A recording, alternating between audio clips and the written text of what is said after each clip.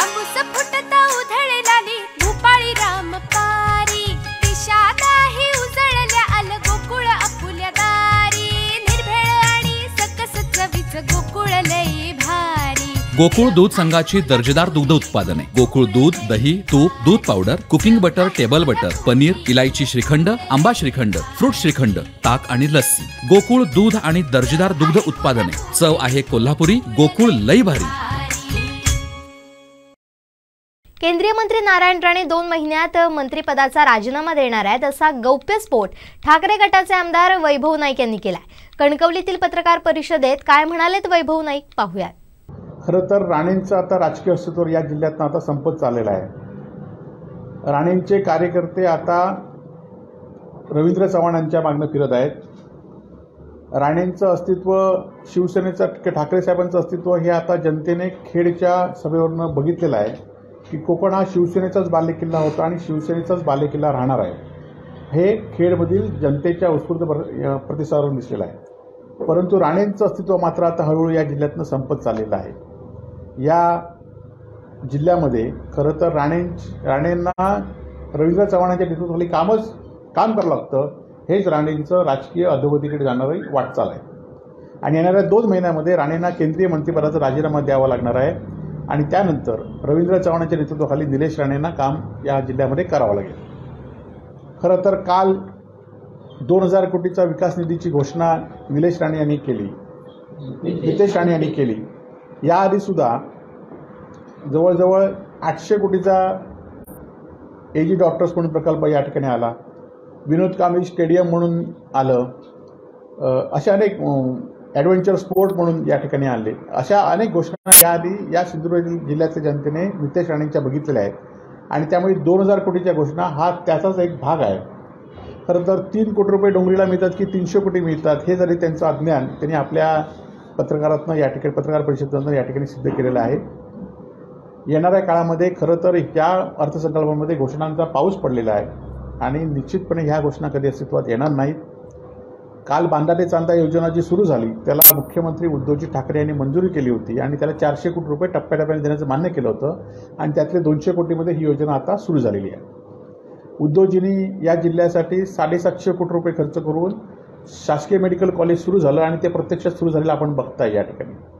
जी कामं उद्धवजींनी मंजूर केली होती ती कामं या ठिकाणी आपण दिसत आहे तोक्ती वादळाच्या वेळी निधी आलेला आपण दिसत आहे परंतु कालच्या या बजेटमध्ये अजूनही शेतकऱ्यांची दोन हजार वीस दोन हजार एकवीसची नुकसान रुपये अजूनही शेतकऱ्यांच्या खात्यामध्ये जमा झाली नाही आहे. भाताचा बोनस जमा झाला नाही आहे. आणि जिल्हा बँकेच्या निवडणुकीमध्ये यांनीच जिल्हा बँकेचे सध्याचे चेअरमन असतील व्हाईस चेअरमन असतील किंवा हे आमदार असतील यांनी सांगितलं होतं की आपल्याकडे खावटी कर्जाचा विषय आपण संपवू. परंतु खावटी कर्जासाठी एक करोड रुपयाची तरतूद ह्या बजेटमध्ये झाली नाही त्यामुळे या बजेटमध्ये फक्त घोषणांचा पाऊस आहे. या बजेटमध्ये आपल्याला कुठल्याही या जिल्ह्यासाठी काही मिळणार नाही. झालं बस. ना तुम्ही काय विचारत होता जरा? नितीशांनी काल असं म्हटलंय की ठाकरे शिवसेनेचे तिन्ही जिल्हा संप्रमुख जे आहेत ते आमच्या जिल्हा प्रमुख जे आहेत ते आमच्या संपर्कात आहेत. मी मगाशी सांगितल्याप्रमाणे राणेंचं राजकीय अस्तित्व या जिल्ह्यात आता संपत चाललं आहे त्यामुळे त्यांच्या संपर्कात आता कोण राहणार नाही? त्यांचेच कार्यकर्त्याच्या संपर्कात राहणार नाही. तर दुसऱ्या पक्षाचे लोक ह्याच्या संपर्कात काय येतील? कारण त्यांचे कार्यकर्ते आता रवींद्र चव्हाणांच्या नेतृत्वाखाली काम करत आहेत आणि रवींद्र चव्हाणांनी त्यांचं राजकीय अस्तित्व शि- गेल्या दो एक महिन्यापूर्वी झालेल्या भाजपच्या मेळाव्यामध्ये त्यांनी दिसून आलेलं आहे. आणि भाजपच्या मेळाव्यानंतर राणेंना रवींद्र चव्हाणांच्या नेतृत्वाखाली काम करावं लागतं. हेच खरं तर राणेंची या जिल्ह्यातील राजकीय अधोगती आहे. काल अ, दीपक केसरकर यांना निवडण्याची जबाबदारी घेतली? खरं तर एक त्यांचे भाऊ निलेश राणे सांगतायत की दीपक केसरकरांना आम्ही डायव्हर ठेवणार. हे सांगतायत की आम्ही केसरकरांना निवडून आणणार आहोत. त्या त्यामुळे ह्या दोघांनी आपल्या वडिलांशी एकत्र बसावं आणि ठरवावं आपण केसरकरांच्या बाबतीत काय निर्णय घेऊया? आणि नंतर तो निर्णय या ठिकाणी निश्चित करावा आणि लोक त्या निर्णयाचं काय करतील हे येणाऱ्या निवडणुकीमध्ये दिसेल. म्हणजे भाजपकडनं अशी टीका केली जाते की किंवा बोललं जाते वैभव नाईक हे एकनाथ शिंदेच्या संपर्कात असल्यामुळे त्यांचं जिल्हा प्रमुख पद काढून घेणार आहे खरं तर मी आता गेले पंधरा वर्ष जिल्हा प्रमुख आहे. आणि पंधरा वर्ष जिल्हा प्रमुख असल्यानंतर आता त्यामध्ये बदल झाला पाहिजे अशी भूमिका मीच गेले दोन वर्ष मांडत होतो. आणि आता मी तिन्ही ठिकाणी तिन्ही जिल्हा प्रमुख सक्षम जिल्हा प्रमुख दिलेले आहेत की जेणेकरून पक्षाच्या आता येणाऱ्या जिल्हा परिषद असतील नगरपालिका असतील या निवडणुकीमध्ये काम केलं पाहिजे. आणि त्यामुळे कोणीतरी सांगितलं म्हणून माझं जिल्हा प्रमुख गेलं असं नाही आहे आणि मी आता या जिल्ह्यामध्ये काम करत असताना लोकांचा माझ्यावर किती विश्वास आहे उद्धवजींचा माझा किती विश्वास आहे? आणि जी अनेक आश्वासनं आली जी अनेक प्रबोधन आली ती डावलून या ठिकाणी राणेंसारखं मी आश्वासन आल्यानंतर मी कुठल्या मंत्रिपदासाठी कुठल्या पक्षात गेलो नाही तर मी निश्चितपणे शेवटच्या दिवसात पहिल्या दिवशी सांगितलं होतं की मी शेवटचा आमदार असलो तरी शिवसेनेवर राहील. आणि त्याप्रमाणे मी आमदार अस शेवटचा आमदार राहिला तरी मी शिवसेनेत राहणार ही माझी भूमिका कायम आहे. दुसरीकडे शिवसेना शिवसेना हे नाव साहेब अधिकृत निवडणूक आयोगाने त्या शिंदे सरकारला दिलं नाही दिलं. नाही लोकांनी अधिकृत नाव कोणी दिलं तर लोक शिवसेना कोण म्हणतायत? हे कालच्या खेडच्या मेळाव्यावर दिसलं आज शिवसेनेचं चिन्ह गेलं नाव गेलं तरी शिवसेनेतला एकही माणूस किंवा एकही मतदार हल्ला नाही उलट ते वाढत आहेत त्यामुळे शिवसेना हे आमचीच नाव आहे आणि शिवसेना उद्धव बाळासाहेब ठाकरे हे नाव अ, हे करतील आणि पुन्हा आम्ही निवडणुकीद्वारे ते चिन्ह आणि हे सुद्धा आम्ही पुन्हा निवडणूक झाल्यानंतर पुन्हा आम्ही मिळवू. दुसरीकडे असंही भाजपकडून आरोप होतोय की विनायक राऊत यांनी जिल्हा प्रमुख पद बदलून वैभव नाईकांना शह दिलाय असं म्हटलं जातं नाही आम्ही एकत्रच काम करतोय. त्यामुळे मी आपल्याला सांगितलं की जिल्हा प्रमुख पंधरा वर्ष मी जिल्हा प्रमुख म्हणून काम करतोय. आता मी दुसऱ्या वेळेचा आमदार आहे. आणि त्यामुळे आता जिल्हा प्रमुख म्हणून नवीन कार्यकर्त्यांना संधी दिली पाहिजे. आणि आता जिल्हा प्रमुखाच्या आता खरं तर नुसत्या मतदारसंघापुरतं जिल्ह्यापुरतं मध्ये न राहता उद्धवजींनी सुद्धा किंवा आदित्यजींनी माझ्याकडे राज्यातल्या वेगवेगळ्या भागामध्ये बैठकी सुद्धा सुद्धा जबाबदारी दिलेली आहे. औरंगाबादमध्ये सुद्धा माझ्याकडे संपर्क त्यामुळे माझ्याकडे आता वेगवेगळे पक्षाच्या वाढीसाठी जे जे उद्योजक येतील त्या इथे माझ्याकडे काम पण आहे. आणि त्यामुळे येणाऱ्या काळामध्ये मी संपूर्ण महाराष्ट्रामध्ये जी जबाबदारी देतील त्या त्या ठिकाणी प्रयत्न फिरण्याचा प्रयत्न करणार आहे. तीन तीन जे संपर्क तीन पदाधिकारी नियुक्त झाले त्या तिन्ही पदाधिकारी हे राणे समर्थक आहेत. त्यामुळे स- कणकवली विधानसभा मतदारसंघातील ठाकरे सेना केव्हा संपवायचं हे आमच्या हातात आहे असं पण काल नितेश राणेंनी वक्तव्य केलं आहे. राणे समर्थक असलेल्या पदाधिकाऱ्यांना नेमकी पदं शिवसेनेकडून देण्याची ठाकरेंकडून देण्याची कारण काय राणे समर्थक आता कोण राहिलं नाही? हे सगळे आता जे राणेंवर राहिले ते पण राणे समर्थक राहिले नाही ते मग सांगितल्याप्रमाणे ते रवींद्र चव्हाण किंवा भाजपचे समर्थक झाले आहे त्यामुळे दुसऱ्या पक्षातले राणे समर्थक आता हा विषय सोडून द्या. परंतु त्यांच्यावर जे अनेक वर्ष काम केलेले लोक पण राणे समर्थक न राहता आता भाजप किंवा रवींद्र चव्हाण समर्थक झालेले आहेत. ही वस्तुस्थिती जिल्ह्यामध्ये आहे. काल मुख्यमंत्री सिंधुदुर्गात मेळावा घेणार सांगितलं आहे. काही फरक पडेल? कोण सांगितलं? काल जो शिवसेनेचा मेळावा झाला. फाटकाने? हां. खरं तर रवींद्र फाटक हे शिवसेनेचे सुद्धा यावेळी आमदार होते गेले पाच वर्ष. पण आम्हीच त्यांना सिंधुदुर्ग जिल्ह्यापासून दूर ठेवलं होतं. आता त्यांना पक्षवाढीसाठी या जिल्ह्यामध्ये येतात त्यांना शुभेच्छा आहेत. परंतु त्यांना शुभेच्छा की त्यांच्यावर काम करताना आता शिंदे गटात गेलेले कार्यकर्ते सुद्धा माझे सहकारी आहेत. त्यांना मी एवढंच त्यांना सल्ला देईन याआधी रवींद्र फटकांबरोबर काम केलेले रावजी वंजू सुदन बांदिवडेकर यांच्या यांचा इतिहास तपासावा आणि त्यांच्यावर काम करावं माझी अ, सूचना आहे. तीनही आमदार आणि खासदार हे शिवसेनेचे असतील अशी घोषणा काल शिवसेनेच्या मेळाव्यात झाली. रवींद्र फाटक यांनी भाजप काही पदाधिकाऱ्यांनी खंत व्यक्त केली की आम्हाला विश्वासात घेतलं जात नाही सहकारी सहकारी पक्षांकडून. तर रवींद्र फाटक यांनी असं वक्तव्य केलं की तुम्ही तुमची ताकद वाढवा तुमची दखल घ्यावी लागेल. या संपूर्ण रवींद्र फाटक आणि पदाधिकाऱ्यांनी व्यक्त केलेल्या खंत या संदर्भात आपण कसं पाहता खरं तर हा पक्ष हा भाजपचे बी टीम आहे. आणि ह्यांना कोण विचारत नाही. हे आणि त्यांना आज जनाधार नाही जनतेचा. त्यामुळे ते प्रयत्न या ठिकाणी करतायत. परंतु ह्यांना भाजपसुद्धा एकही सीट देणार नाहीत. आणि त्यांच्याकडे विधानसभेचे सोडाच. नगरपालिका जिल्हा परिषदसुद्धा ह्यांना सीट मिळणार नाहीत. कालच्या ग्रामपंचायतीच्या निवडणुकीवरून त्यांना कळलं असेल की भाजपने त्यांना किती जागेत सोबत घेतलं. जिल्ह्यामध्ये कोणावर युती केली? आणि त्यामुळे ह्यां ह्यांचं अस्तित्व राजकीय नाही. फक्त हे शिवसेनेला विरोध करण्यासाठी उद्धव बाळासाहेब ठाकरेंना विरोध करण्यासाठी आणि काहीतरी सत्ता असल्यामुळे सत्तेतनं काहीतरी फायदा होईल यासाठी काही मंडळी एकत्र आले आहेत. आणि त्यामुळे हे अशा या ठिकाणी करतायत. ते आता आले याआधी सुद्धा काही लोक आलेले आहेत खासदार होण्यासाठी. ते आता सहा महिने आलेच नाहीत. तसे हे सहा महिने येणार नाहीत याची मला खात्री आहे. साहेब याही पुढे राणे विरुद्ध नाही. जो आजपर्यंत सामना जिल्ह्यात पाहायला भेटला तोच पाहायला भेटेल की भविष्यात पुन्हा एकत्र बसलेले चित्र? ते आम्ही काही लोक मात्र आपल्याला माहिती असेल की या याच जिल्ह्यातील काही लोक राणेंना विरोध केला आणि राणेंबरोबर एकत्र बसलेले आहेत. राणेने सुद्धा काही लोकांना विरोध केला. काही लोकांनी एकमेकाच्या मुलांना हल्ला करण्याचा सुद्धा प्रयत्न केला.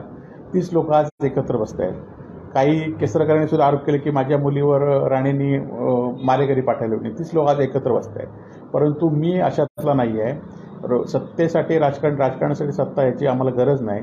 आम्ही उद्धव बाळासाहेब ठाकरेंच्या पाठीशी ठामपणे उभे राहू आणि या जिल्ह्यातल्या जनतेचा जो दहशतवादाला विरोध आहे एका व्यक्तीला विरोध नाही किंवा एका व्यक्तीचा विरोध थांबला म्हणून दहशतवाद थांबणार नाही.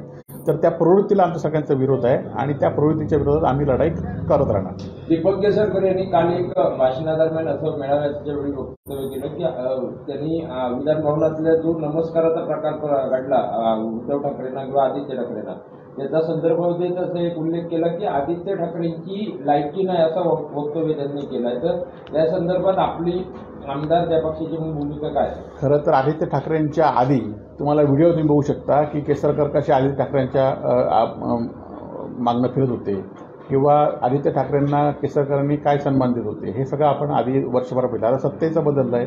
या आधी सुद्धा शरद पवारांना सुद्धा काय म्हणत होते? आज अजित पवारांना काय आधीच म्हणत होते? आता अजित पवारांना काय म्हणतायत?